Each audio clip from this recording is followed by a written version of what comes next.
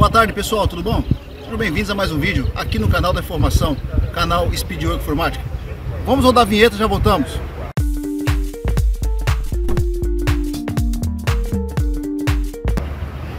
Meus amigos, uh, eu vou deixar do lado direito, do lado esquerdo do vídeo, tá? No canto superior, uh, o nome da playlist, onde os vídeos que eu estou fazendo aqui na, cujo nome aí, né? Vocês conferiram? É construção da casa do Paulo Pedreiro. Tá certo? Apesar de ser a nossa casa, eu estou aproveitando esse momento, que a vida é feita de oportunidades, né? E feliz é aquele que tem história para contar, é uma canção. E feliz é aquele que sabe, saiba aproveitar as oportunidades que nós conseguimos aí né, é, buscar no dia a dia, tá certo? Eu estou aproveitando esse momento e estou publicando alguns vídeos referente à construção do nosso alicerce. Vira a câmera pra gente aí, 180 graus, uh, e mostra pra gente o que está sendo feito lá, né? Pode voltar pra cá.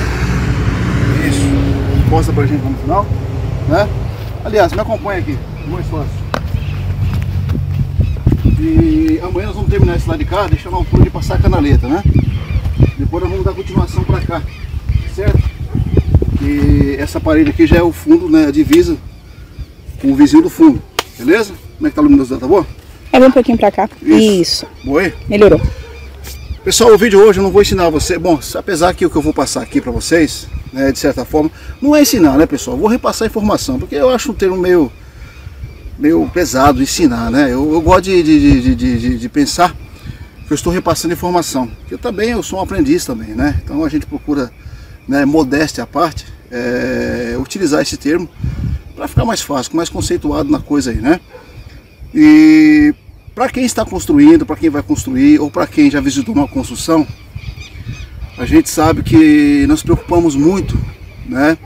com a questão da qualidade do serviço, isso é importante, primordial para qualquer profissional, né? E outras situações mais. Mas existe um detalhe, eu vou abrir aspas, né? Vou chamar de detalhe, que muitas pessoas não dão muita atenção, que é a segurança. Além da segurança de quem está trabalhando no canteiro de obras, como pedreiro, carpinteiro, ajudante, né? Seja lá quem for, nós temos também que ter o cuidado com pessoas que muitas vezes é, possa, de repente, uma obra como essa, mostra pra gente lá à frente lá, não tem nada cercado, né? O correto é você fazer, pela lógica, você cercar a obra, pode virar para cá novamente, é você fechar a obra com tapume e trabalhar, né? Mas a gente sabe que muitas vezes, até por questões financeiras, as pessoas não têm condição de fazer isso, né? Não sei grandes obras, tá certo?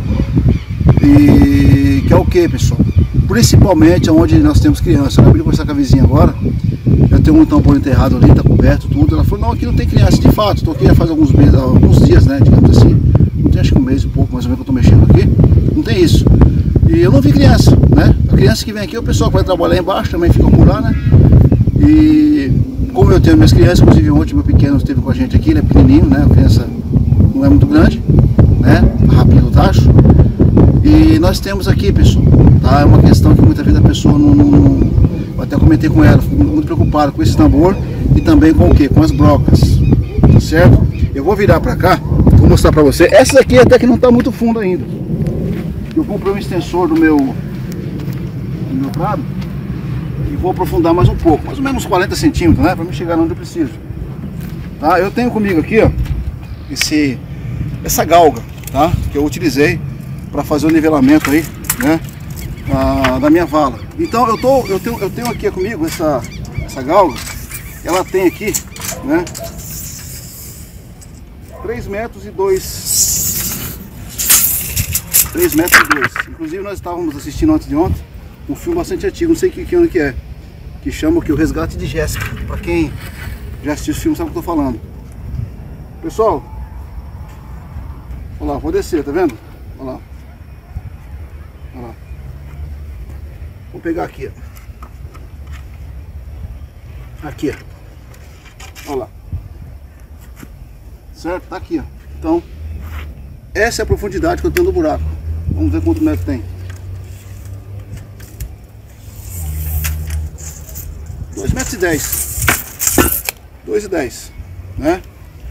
Ah, eu tenho mais brocas para cá e tem a casa do fundo. Inclusive eu pedi pra você virar lá e mostrar pra gente aqui. Deixa eu ir na frente aqui. Mostra pra gente aqui. Por que eu estou fazendo esse vídeo? Para que vocês possam ah, tomar cuidado, né? Tomar cuidado com essa questão. Porque eu vou aprofundar um pouco mais também. Olha lá. Olha lá. Olha o tamanho dessa bloco aqui. O meu pequenininho, ele dá isso aqui, ó. Baixinho. Menos que isso, É. Paulo. Ele é uma criança, ele é uma criança muito forte, né? Hoje em dia as crianças são mais, são mais gordinhas, né?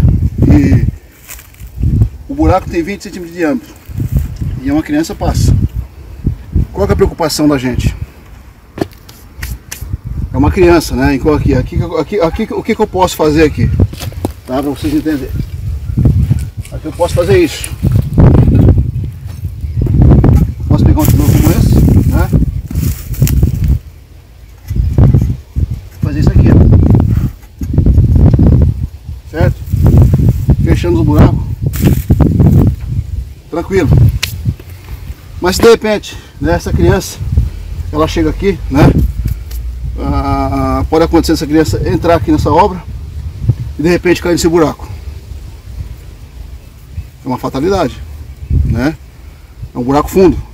Imagina se essa criança cai de ponta cabeça, né? Ela cai não vou dizer para você que é morte instantânea, mas a chance dessa criança sair viva dessa é mínima, né? Ou se ela cai de pé, de repente ela engancha pelo meio. Então qual é a preocupação da gente? É que de fato isso possa ser uma armadilha. Então se você vai construir, se você está construindo, se você visitou a obra do amigo, né, e você viu, fala lá, não, o Paulo Pedreiro ele publicou um vídeo no canal lá, né? E ele falou sobre essa questão, né? Então vamos, vamos preservar né, a, segurança das pessoas, né, principalmente crianças, né? Uma pessoa adulta como a gente não. O que pode acontecer se de repente você pisar, você pode quebrar teu tornozelo, né? Mas cair você não vai cair, tá? Mas uma criança, né? É criança, né? Ela tá brincando no sentimento, de repente ela fala, ah, eu quando era criança, por exemplo, eu gostava de brincar nas obras. Né? Eu já, derrubei, já derrubei muro de, de pedreiro hoje em dia. Eu não gostaria que alguém viesse aqui e derrubasse meu muro, né? E e hoje eu fico pensando, né? A profissão é a ironia do destino.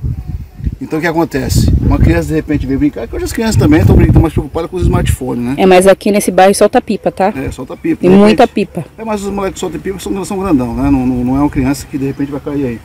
A preocupação é a criança, igual o nosso, né? Pode de repente estar brincando aqui e de repente né, cai aí, né? Claro, o pai e uma mãe tem que zelar pela, pela integridade do filho. Mas sabe como é que é criança, né? Então, a minha preocupação é que de repente uma criança sai lá para brincar, entra aqui na obra, mas enfim, né? tenta lugar para brincar, mas a criança ela quer lugares onde ela acha interessante. E uma obra não parece mais um lugar interessante. Temos tijolos, temos tambor, temos areia, né? Areia, criança gosta de areia, tem pedra, entendeu? Então, e tem buraco, que são esses buracos aqui. Inclusive agora eu vou até colocar essa vajota aqui, né? Pra gente resguardar aí a segurança, né? Porque eu sou pai, você também de repente é pai, então você sabe o que eu tô falando, né? Então, depois que acontece essas coisas, não adianta a gente querer, né, correr atrás, né? Então o prejuízo, digamos assim, né? A fatalidade é uma coisa que a gente pode evitar, né? Então, existem coisas nessa vida que você pode evitar, tá? Não precisa você esperar acontecer não. Existem pessoas que parece que que espera as coisas acontecer para depois tentar resolver. É igual aquele velho ditado, né? O camarada só fecha a porta depois que o ladrão rouba. Então, a gente tem que nos preservar, preservarmos, né? E também a gente pensar nos outros. Então, eu tive essa ideia de fazer esse vídeo para alertar você aí, que de repente, né? Eu não tinha pensado nisso, né? De repente eu não, eu não pensei nisso, mas aqui a gente pensa em tudo. Tá certo? Tanto é que eu pensei que esse vídeo foi anotado no papel ali. Eu falei assim que foi o momento, momento oportuno, eu farei esse vídeo e publicarei no canal, tá bom? Então, esse é mais um vídeo para você que acompanha Paulo Pedreiro. Se você chegou agora, achou interessante aí né, o título do vídeo, já lhe faça um convite, se inscreva no canal, ative o sininho, tá bom? Aqui tem muita coisa bacana. Vai aparecer mais uma vez o nome da playlist, tá certo? Para você conferir todos os vídeos que estão sendo feitos nessa obra aqui. Tá certo? Tem muita coisa pela frente, não parou não, viu? Valeu, gente. Muito obrigado, minha câmera Guil. Nós vamos agora dar uma, dar uma boa tarde, pessoal. Boa tarde. Lembrando que isso aqui pode cair meus gatos dentro, É, tá? exatamente. É outra, olha, bem abordado, viu? Exatamente, ó, já ia me esquecendo. Foi bom você ter lembrado Para disso. meus bichinhos. Nós temos gatos em casa, quantos são? Você lembra? Em casa é cinco gatos, cinco Ah, cachorros. os cachorros já são gordos, né? são grandes, né? E tem os gatinhos, né? E aqui tá cheio de gato. Exatamente. Aí, tá vendo? o seu animal de estimação também. Então é isso aí, viu? Bem lembrado. Valeu, gente. Fui, um abraço e até os nossos próximos vídeos. Segurança sempre, viu? Nem sempre a pressa é algo que vai lhe ajudar aí, viu? Então, ser meticuloso é muito importante. Valeu? Tchau, tchau.